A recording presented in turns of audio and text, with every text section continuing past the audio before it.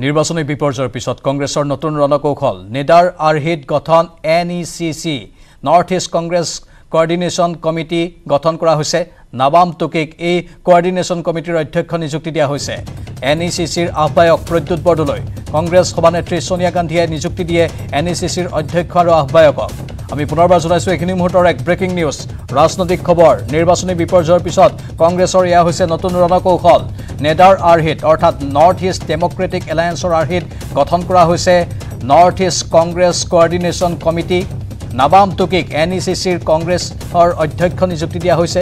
N E C চিৰ আহ্বায়কৰ দায়িত্ব দিয়া হৈছে প্ৰদ্যুৎ বৰদলৈক। কংগ্ৰেছ সভানেত্ৰী ছোনিয়া গান্ধীয়ে নিযুক্তি দিয়ে এন ই চি চিৰ অধ্যক্ষ আৰু আহ্বায়কক।